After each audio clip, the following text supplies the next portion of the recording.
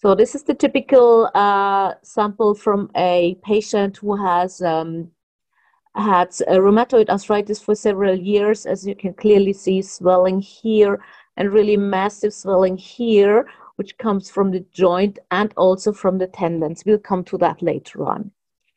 So by definition, rheumatoid arthritis is a chronic systemic inflammatory disease and it is characterized by symmetrical deforming and peripheral polyarthritis.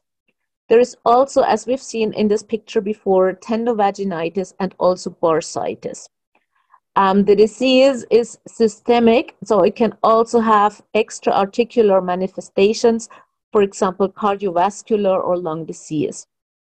So the prevalence is about 1%, um, more uh, ladies uh, than men. So it's not rare, and you will definitely see patients who suffer from this condition. The peak onset is age 50 to 70, but uh, it may all may also be present in younger or older patients. There's a juvenile juvenile arthritis, um, which can start from kids as young as one or two, and there's a late onset form which is called LORA, um, late onset rheumatoid arthritis. So risk factors are smoking and obesity, but they're not like the, the uh, only culprits. Um, by pathology, it is an autoimmune disease. There's autoantibody formation against citrullinated peptides, which are called abbreviated ACPA, and the FC part of the IgG molecule um, which is also called rheumatoid factors. And they, those antibodies are found in approximately 50 to 80% of patients who have rheumatoid arthritis.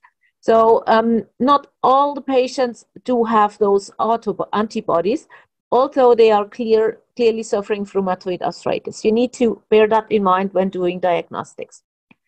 Um, there is a genetic pre predisposition. So if your parents suffer from this, um, you might as well uh, suffer from it, but it's not a hundred percent sure.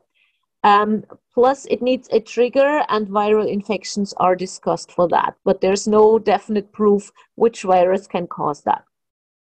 So, um, if you will see inflammatory infiltration of the synovia with autoreactive T cells, um, which will lead to a synovitis and um, which can be seen by a joint effusion. I will show you more pictures about that later on. And there's also a tenosynovitis, which leads to the destruction of cartilage, joints, and tendon, which in case, um, also leads to tendon ruptures, so can lead to. Um, the swollen joints lead to instability, and the instability of the joint will lead to deformity, which uh, usually has a typical um, typical picture, which I will show you later on. Um, and there is also the production of systemic pro-inflammatory cytokines. So um, you will see um, uh, raised levels of those cytokines, for example, interleukin 1, interleukin 6, or TNF alpha, which is um, important because there you can start the treatment. If you block those uh, cytokines, patients will improve. I will tell you more about that later. So this is a picture um, of the joint effusion of the pathology. So this is just one um, bone, the other bone, this is the cartilage. No?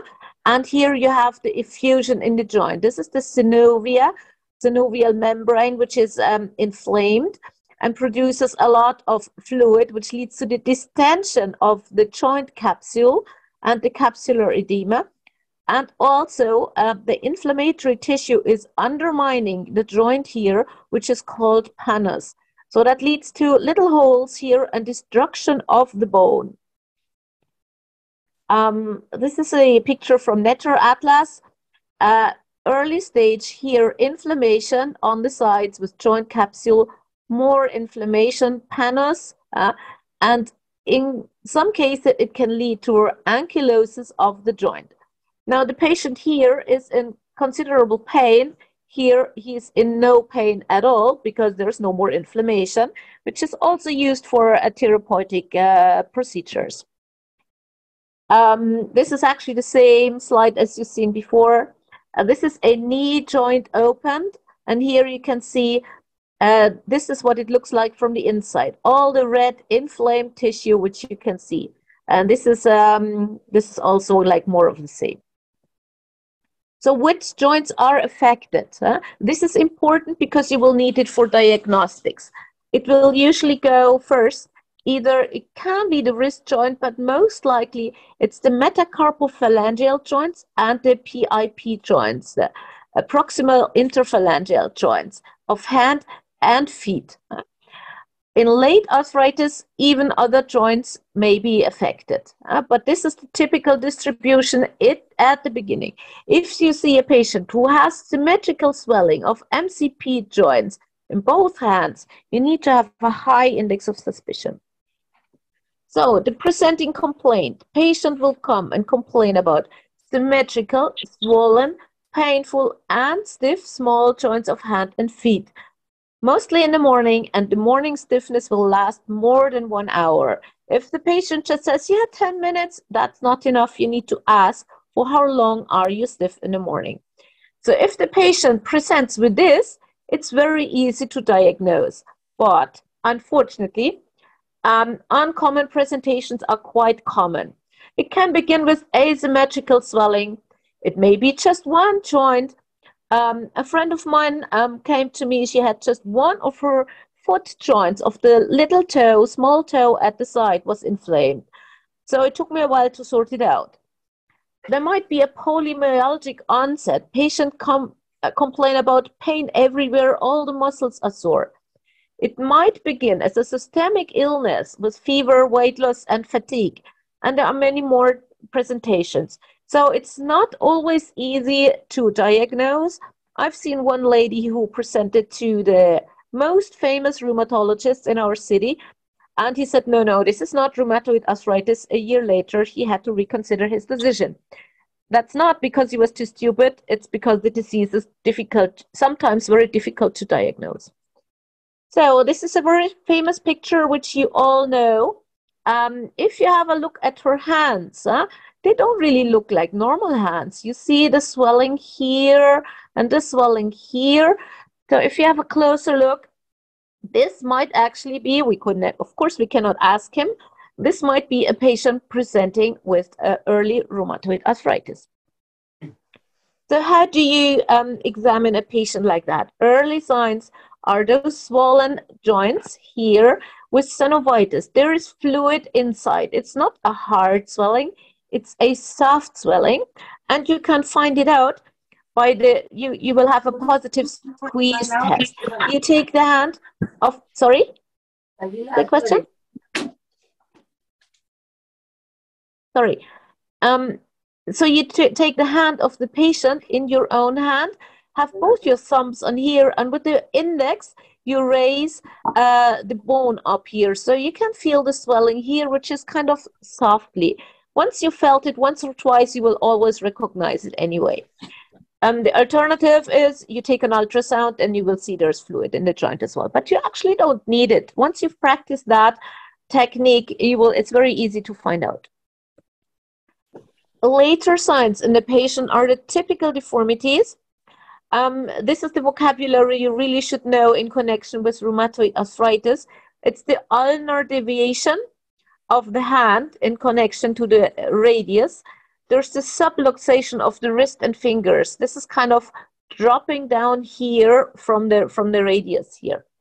Uh, you will have boutonniere deformity. You will have swan neck deformity, and the Z-shaped thumb, which is also called sometimes 90-90 deformity. You have 90 degrees here, and you have 90 degrees angle here.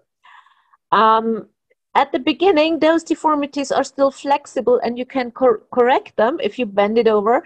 But at the, at the end, um, it will not be, uh, you will not be able to correct it. You will also have ulnar deviation of those fingers in this direction. Now they will kind of bend over. And you will have the rupture of extended tendons, as you can see here. The swelling here uh, infiltrates the tendon and kind of nibbles away at the tendon and you, it will rupture at the end. So there are now a few um, paintings of the uh, of the hand with the swelling here. You can see it's more like diffuse diffuse swelling. Here you have a patient who already had rupture of the extensor tendon. If you ask him to straighten his fingers up, he's unable to do it. Uh, he won't be able to do that. Here is the, the reason for that. Um, the tendovaginitis, as you saw on the first slide I showed you, it's a big, massive lump and it infiltrates the tendon. It kind of nibbles away on it. Here, the swelling of the joints.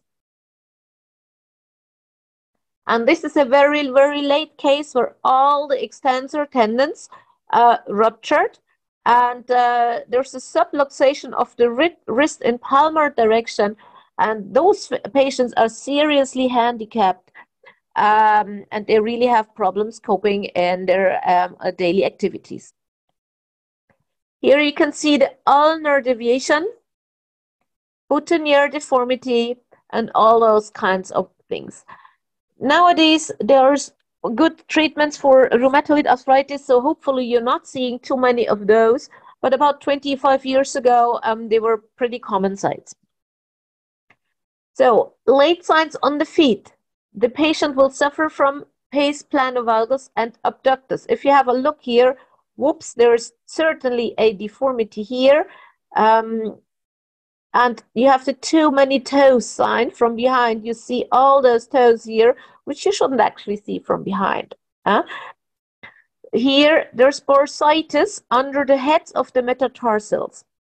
Large joints might be affected later, and also um, you should consider cervical spine instability.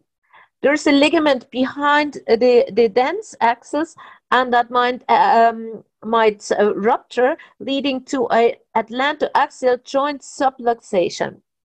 Needs to be considered before you're doing surgery on any patient who has um, rheumatoid arthritis. Some more pictures, um, what the patients might present with, bunions, hammer toes, um, nodules, and all that kind of uh, flat feet. Here you see um, all typical presentations in late stage. Here we already had a picture of that. There are also extra articular manifestations. About 40% of all patients with rheumatoid arthritis do suffer from them. Those can be just simple things like nodules, especially if the patient is treated with methotrexate. Um, there might be um, fibrosis of the lungs or pleural disease, a lot of patients do suffer from ischemic heart disease also and might present with a pericardial effusion. There may be peripheral neuropathy, and really to consider is osteoporosis. Chronic inflammation, systemic inflammation makes osteoporosis. There's also um, osteoporosis at the affected joints, but also systemic osteoporosis. And of course, you need to consider the side effects of medication a lot of patients are treated with oral corticosteroids, and they, of course, lead to osteoporosis, to diabetes. So, investigations what do you do if you suspect the patient has rheumatoid arthritis? You should do full blood count, ESR, CRP, rheumatoid factor, and anti CCP, anti, um, the, the, those antibodies which I described to you before. Um, you will usually see signs of chronic infection that will be elevated ESR and CRP and platelets, and there will be anemia of chronic infection, inflammation. Sorry, shouldn't be infection, inflammation is the right word here. Sorry for that. The uh, rheumatoid factor is positive in about 70% of patients. So consider if the patient has typical symptoms but is negative, huh, then it's called a seronegative rheumatoid arthritis. But also the, the uh, opposite may be true. The rheumatoid factor is positive in about 5% of the population. So it's not specific for the disease. It is positive, for example, in a high amount of pregnant women and in the elderly. So just uh, having a positive rheumatoid factor doesn't make you have rheumatoid arthritis. Anti-CCP antibodies, on the contrary, they are highly specific and reasonably sensitive. So if those are positive, you can say, yeah, I'm pretty sure the patient has rheumatoid arthritis. Um, and I also recommend doing liver and kidney functions tests to help in the decision which medication to take. So what you also should do, uh, you should do x-rays, both hand, hands and feet AP. This is the only case where you don't need x-rays in two planes. Here, exceptionally, one plane will be enough. Um, just to give you um, um, an idea what the joints look like, I will show you some uh, examples. Um, the x-rays may be negative in very early stages. Um, you might see soft tissue swelling, swelling around it. You will see extra-articular osteopenia and a reduced joint space. In the late stages, you will see bony erosions from the pannus, which I showed you earlier on, which makes those little holes near the bone. You will see subluxation and articular destruction. You might also see ankylosis. Ultrasound is useful to help and helps you to detect intraarticular fluid and tendovaginitis. Um, MRI is helpful um, uh, if you want to detect synovitis early, and um, you can see bone marrow edema, which is sometimes helpful to detect very early cases. And it's especially helpful in ambiguous cases where you're not really sure if this if is this rheumatoid arthritis or something else um, then an MRI scan will, will certainly help you on. It's not needed for the typical presentation. Here are some x-rays. This is an early stage. Here you see the osteoporosis, articular osteoporosis. Sometimes if you look exactly at the picture, you don't see it. Hold the film a little bit further away from you from the distance, you can easily see here osteoporosis near the joints, normal bone here, here, osteoporosis again um, near the joints. Here you can see those little erosions where the arrows are. Yeah? Here, this is very clearly uh, not normal. Here, little nibbles, nibbles away. Uh, here as well. This is more late stage. You can also, here you see big erosions. This doesn't really look like a normal joint at all.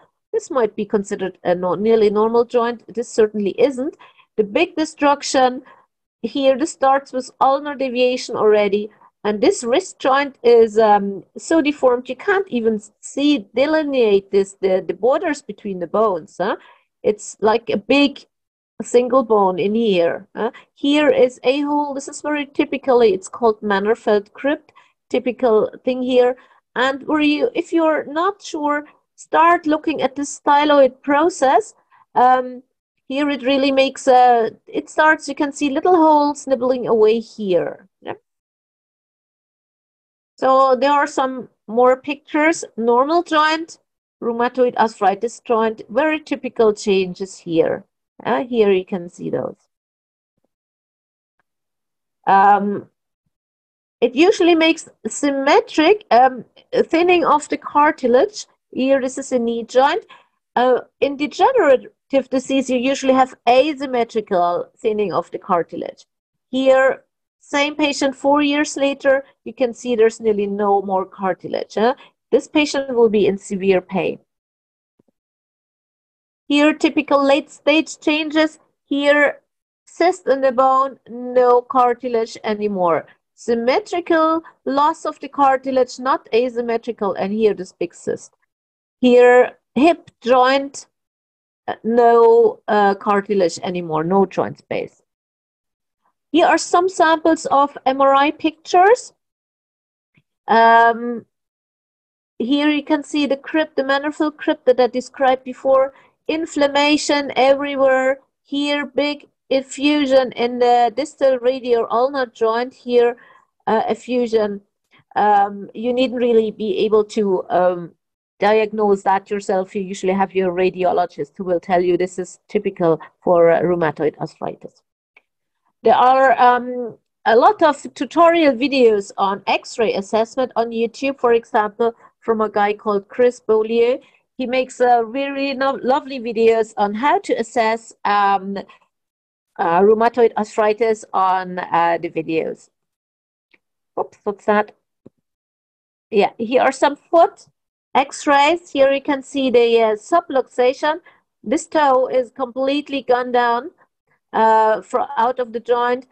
Um, here you can't really see where is the border between one bone and the other because they are so soft. And this tissue here is actually so soft, you can take a needle and stew through it. You can really perforate this bone with a just a stable needle. Late stages, this is really dramatic. Huh? This uh, bone is supposed to be up here. You can't really see anything here except it's a big mess. Uh, so if you have unclear cases where you're not sure, you can do joint aspiration under sterile conditions and you will send in the, uh, the uh, fluid you, you send you usually check it for color. It's usually a, a yellowish white yellowish color.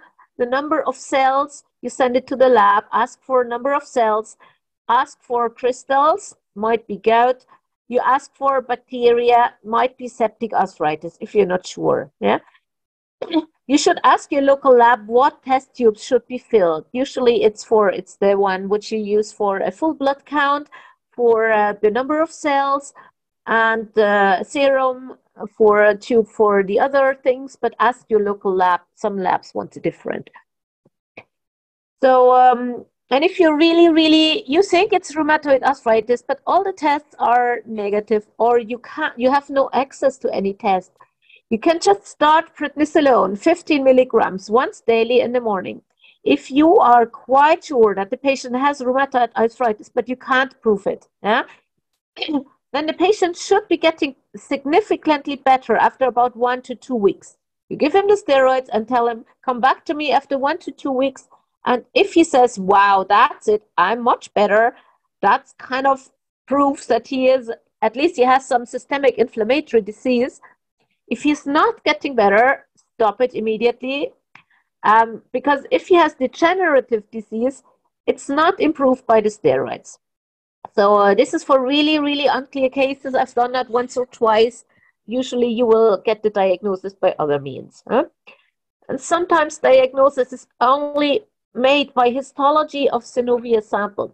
So you do an arthroscopy of the patient for knee problems. You take a sample of synovia, send it to the lab, and the lab will come back, wow, the patient has rheumatoid arthritis. You say, wow, I didn't expect that. So what else can, can it be? Huh? The patient might suffer from psoriatic arthritis. Um, usually affects different joints, but in different, uh, sometimes you really have to consider it. Psoriatic arthritis may appear even before the patient has psoriasis. So you need really to check the family history. If somebody in the family has a unexplained skin disease and the patient presents with joints, he might, uh, joint problems, he might have psoriatic arthritis. It might be gout. It might be a systemic lupus erythematosus. Um, he might suffer from osteoarthritis, which sometimes can get inflamed as well. But usually this will be more a hard swelling and not the soft swelling. The patient might, might suffer from chondrocalcinosis. This is usually the elderly patient who has calcium deposits in the joints. That's most commonly in the knee joint and very rarely in the small joints. And there are many other more rare diseases, but those are the most common uh, differential diagnosis you need to consider. Um, in the early stages, huh, there is no definite proof for rheumatoid arthritis. As I told you, the x-rays may be negative and the rheumatoid factor might may be negative huh, and also be positive in patients with no RA. So the diagnosis must be made using a combination of several symptoms as defined by the American College of Rheumatologists or the European League of uh, um, Rheumatoid Arthritis. So those criteria can also look them up in the internet. Um, you need to check. You use this in patients who have at least one swollen joint and no other explanation for it. Yeah? If the patient had a fall recently, okay, you can't use it. Yeah? But no trauma, no nothing presents with at least one swollen point. Then you check and you give points yeah, for uh, what you have, what you're seeing in the patients. Um, for example, low positive rheumatoid factor gives two points, negative, zero points. You can use that, or there is a, this tool is available on the internet. You just click on here, here, here, and it give you a score at the end. Acute phase reactants, normal, abnormal, click here. Duration of symptoms, more, less than six weeks, more than six weeks. And oops, and that'll give you a score where you can say, okay, this is pretty um, reasonably that the patient has rheumatoid arthritis. Um, as the point is hit hard and early, the earlier the patient is treated, the better the results are. So you can sh uh, should really um, try to get the patient referred to a rheumatologist if this is possible. Now, for a other lady from Afghanistan, I researched how many rheumatologists are there, there are in Pakistan. In all of Pakistan, there's only 26. So it would be hard to get an appointment there. So this is if possible. If it's not possible, do it yourself. Disease activity is monitored by a desk by a score where you can see how bad is it. See next slide also. And treatment should be escalated until you have satisfactory control over the disease, which is called treat to target. You want the patient to be in complete remission. You're not happy if the patient says, Yeah, I feel a little bit better. No, you want him to be completely fine because you don't want the patient to end up with those really, really bad results, which I showed you earlier on. And if you treat him hard and early, you can really, it's possible to reach a complete remission patient is really healthy. So the early use of disease modifying anti-rheumatic drugs, which are called DMARDs, and biological agents greatly improves long-term outcome. So you should start within three months of persisting symptoms. Huh? Don't don't tell the patient, yeah, come back in half a year. I'll give you some steroids and come back in half a year. No, this is not the um, the, the the way to to do it. If you have another choice, if you don't have a choice, okay, do it. Do what you can. So this is how you monitor the disease. This is the DAS score, which is also available on the internet. This is the uh, where, where how to to get there. You can also click here which joints are affected and you add ESR and which gives you kind of a grade how bad the patient is feeling. How many tender joints, how many swollen joints. You answer that and click enter, calculate, and you'll get a result. So high disease activity is defined as more than 5.1, the score result of the DAS28 score moderate disease activity. Uh? And the aim of treatment, as I said before, is complete remission, or if this is not possible, a disease activity that is as low as possible. Try to get the patient back into his normal life, normal activity. Um, are new new definition. You don't really have to know that all by heart. Um, what you really should know: hit hard and early, and try to get the patient um, to get him reduce his, his DAS score. Um, it should be measured all the time. You see the patient, you see him first, measure the DAS score, do a treatment, and see will you get him lower or does he come back and say, sorry, didn't help at all. So management, what kind of medication we have? You can give oral steroids, as I said before. They quickly help to reduce symptoms and the inflammation, but unfortunately, they don't stop the disease progression. So the patient will feel better, will be happy, but will have significant side effects and it will not stop the progression of the, the disease. So the x-ray will look worse every year if you have a look. And as everybody knows, oral steroids have significant and also life-shortening side effects um, like diabetes, osteoporosis, and many other more if you take them long term. They're very useful in the beginning of treatment, huh? as the other drugs take several weeks for the patient to feel the benefit. So what I usually do, I start with an oral prednisolone, 10 to 15 milligrams in the morning, and I start another disease-modifying agent. I'll come to those later on simultaneously. And as soon as this kicks in and starts to have an effect, I reduce the steroid dose as quickly as possible. I don't stop them immediately but uh, try to get down. If I started with 15, I go down to 10, then I go down to 7.5 and go down slower. The aim should be to use steroids just for acute exacerbation if needed and not for the long term treatment. Unfortunately, this is not always possible. Many patients still need uh, maybe 2.5, 5 milligrams uh, prednisolone on the long run. So here's about, um, yeah, more about steroids. If you give them, think about osteoporosis. Huh? Um, if the patient already has osteoporosis that you knew, um, reconsider depending on the severity. Think really, do I really have to give him oral steroids? If not, do a DEXA scan, uh, try to measure how bad is the osteoporosis, if you can do that, and start vitamin D and calcium per day. Uh, if the patient already has severe osteoporosis and you must give steroids, you need to treat osteoporosis aggressively. Um, in patients with a history of peptic ulcer, consider giving pantoprazole together with the steroids. Huh? And have a high index of suspicion for opportunistic or septic infections in patients which, which do have um, oral steroid medication. So the patient comes back after three, four, five, six weeks and suffers um, complaints about severe uh, pain in one joint consider septic in, um, infection. You need to monitor blood glucose, especially in diabetics. Reduce steroid dose as soon as possible, as you, I mean, as soon as possible. If the patient still considerable pain, it's not possible. Huh? But every milligram counts. Huh? Try to get down from five milligrams.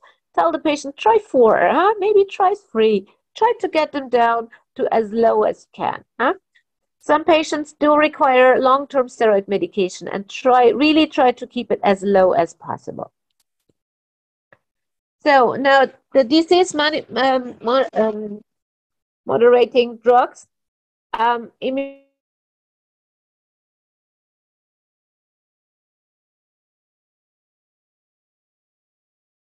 antagonist, it's usually well tolerated and effective. Um, the patient needs usually 7 to 5 to 25 milligrams once per week. This is very important. Um, don't give it daily. This is uh, highly toxic. Once per week, orally, better to take it subcutaneously by injection. It's more effective. Huh? And folate should be given the following day. Side effects are gastrointestinal. Patients will need from nausea and a little bit of vomiting, but this will usually improve the longer the patient use the medication. And it has the side effect of liver toxicity. It might harm the liver. Patients already have been suffering from liver disease. Um, you really need to monitor the liver. If it's kind of compensated, you can still give it. Um, tolerable is a elevation of the liver function tests to about three times the normal value. That's still acceptable. Women in childbearing age cannot have it except if they use contraceptives because methotrexate will harm the unborn baby. Regularly regular monitoring of full blood count, liver, and kidney function tests is necessary. If the kidney function tests are getting worse, you need to reduce the dose huh? so you don't have a higher dose in the body. Another um, medication for that would be leflunomide. It's a second choice. Also not for women in childbearing age. It has to be washed out before surgery. You know? All those medications um, should usually be used by patients, by doctors who know about the side effects and know how to deal with them. In mild cases, you might consider sulfasalazine and hydroxychloroquine. They are not that highly affected. But if you can't give the other stuff due to side effects or to other disease, you can consider uh, trying those. So, and there are also kind of new medications which are called biologicals. And here comes in what I said earlier on. Um, anti-TNF alpha. Uh, TNF alpha is raised because it's a, uh, a, a, a systemic um, inflammation so um, you can use block those with specific antibodies. This is usually used if two different DMARDs don't work. and should definitely be initiated by a specialist. Um, there are many new uh, of those specific antibodies in the pipeline. They are highly, highly effective, um, but uh, might have some side effects, possible reactivation of tuberculosis. Um, they might have severe infection with, norm- with normal CRP because here we are blocking the immune system. Huh? So the patient might have a severe infection, you take a CRP and it's normal, so you, you don't really realize what's going on here. So they are really very, very, very efficient, do their job, but to be treated with caution. Um, what patients do really love is non-steroidals, non-inflammatory, anti-inflammatory drugs, for example, diclofenac or ibuprofen. And they're very good for symptom relief, but they have no effect whatsoever on this on disease progression. Um, so sorry, is that a message from from the team? No. Um, they're good for symptom relief, but they have no effect. Paracetamol and weak opiates are rarely effective, so tramadol is not working. And of course, as hopefully everybody knows, nonsteroidals have a high risk of adverse side effects. So you need to monitor kidney and liver function if the patient uses nonsteroidals regularly. And consider giving omeprazole once per day if nonsteroidals are taken regularly uh, to prevent gastric bleeding. The patient should know what he is taking there. So um, another thing to be done is physiotherapy. Um, the patient should have regular physiotherapy to prevent joint contractures and muscular atrophy. So all the joints should be moved at least once per day. Um, also helpful usually can be assistive splints and assistive devices just like this one uh, to help the patients manage their daily activities. What also, also could be done, intra-articular steroid injections. This is especially helpful if the patient has good general improvement, so the DAS28 is getting down, and he says, Yeah, I'm feeling fine, but I just have this one joint which is always irritating me, one or two joints. It's called the rebellious joint. Yeah? One or two joint is just resisting treatment. Yeah? And of course, you could um, increase the dose of the medication, but why should you do it if it's generally working fine? So you leave the dosage of the patient as it is, of the, for example, methotrexate, and just treat those two joints and do uh, intra-articular steroid injections. It, it should be done, must be done under sterile conditions, and each joint should not be injected more than three times per year because the problem might be joint infection. Uh, if you use it without sterile uh, not under not under sterile conditions, and bacteria manage to get into the joint. And a joint infection usually needs surgical treatment. Another method which can be used in rebellion, rebelling joints is radiosynoviorthesis, uh, just the RSO. More about that on this um, internet page. And this is the injection of a radioactive substance with a short range of influence and this destroys the inflamed synovia. Uh, this can be done by radiologists under um, X-ray control. Um, you first you inject contrast fluid to make sure that you're intra-articular, and then you inject the radioactive substance.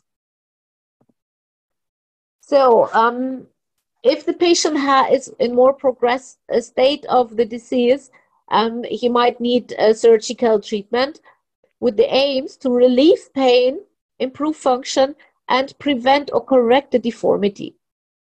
The methods are, um, there are several uh, orthopedic methods which you can use. One is synovectomy, surgical synovectomy, uh, um, to prevent further destruction of the joint. For example, shoulder. Shoulder is a very good joint to do an early synovectomy. Sometimes what you do, first you do synovectomy, and six weeks later you do a radio synoviorthesis to just kill the rest of synovia, which is still there. This is uh, pretty helpful and helps some patients for like to, to have several symptom-free years. Uh, so it's really very helpful. Um, to do that early on. Sometimes it's difficult to uh, persuade the patient to have it done. Um, patients with rheumatoid arthritis are usually well tolerated to pain. And uh, they say, ah, if it's not really necessary, I probably don't want to have it. But this is really very helpful. then uh, you might need stabilizations. For example, on the thumb, if you have this 90-90 deformity, which I told you, um, the patient doesn't really have a good grip strength. He can't really hold something. And there, the arthrodesis of the MTP1 joint greatly improves grip strength. Um, then you might want to do deformity to corrections. For example, if the patient suffers from a severe hallux valgus, which prevents him from wearing shoes. If he says, I can't wear any shoes because it's so hard, it's so sore, it hurts so much, um, then you might have to correct that. Um, in completely destructed joints, um, you patient might need endoprosthesis like knee or hip joint replacements. All those operations are preferably to be done by specialists for rheumatoid surgery. It's a little bit different than the like normal patients um, because as I said earlier on, the bone is very soft. You need to reconsider some things and really should know what you're dealing here.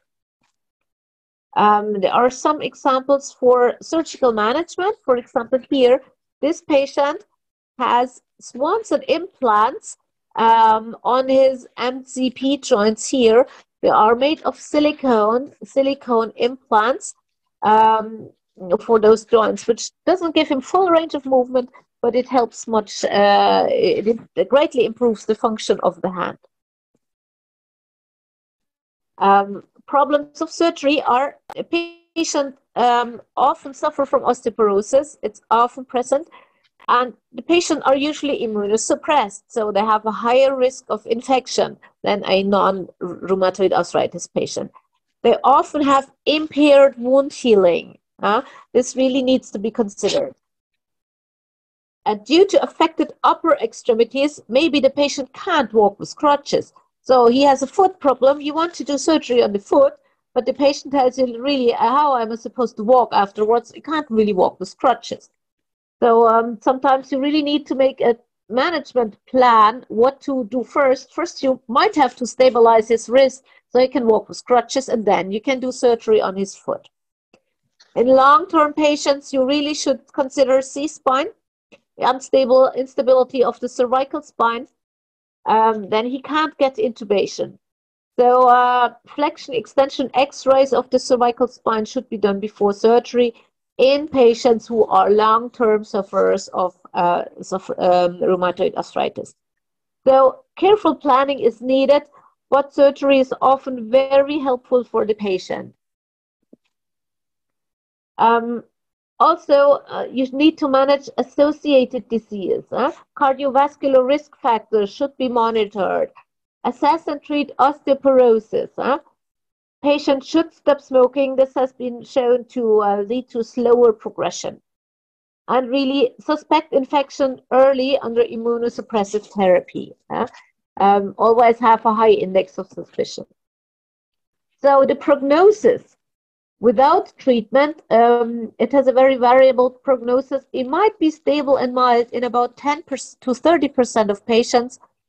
There may be periods of remission in which the symptoms disappear, alternating with periods of flare ups, or may have a very rapid and aggressive progression with joint destruction within one year.